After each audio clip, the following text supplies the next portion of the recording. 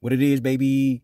But yeah, Deontay Wilder says that Anthony Joshua needs to take Jermaine Franklin very, very seriously, right?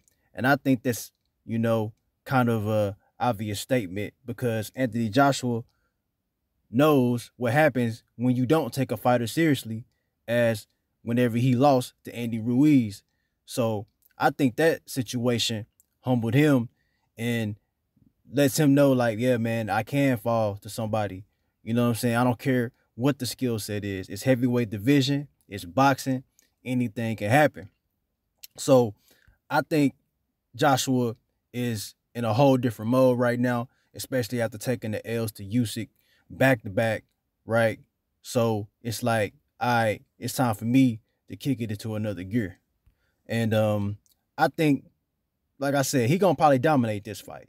You know what I'm saying? It's probably gonna be boring as hell.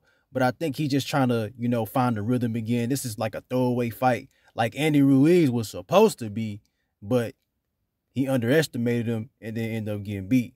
I don't think he'll ever do that again. And I think with him thinking he, he might retire or even kind of teasing the idea, I think he's gonna put his all into boxing right now before he ends up hanging the gloves up. So I think yeah, it's he he's not going to take Jermaine Franklin lightly, right?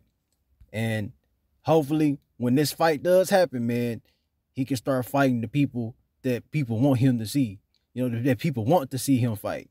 Whether it be Deontay Wilder or Tyson Fury next. Well, they fight tonight. It's Saturday. It's April 1st right now. You know what I'm saying? So I'm gonna probably make a video about who wins and all that. So good luck, Anthony Joshua. Good luck, good luck, Jermaine Franklin. And um, that's all I got for right now, man. Can y'all like, comment, subscribe, and share the video, man? I really appreciate it. Well, that's all I got for right now, man. Y'all be easy and y'all stay safe.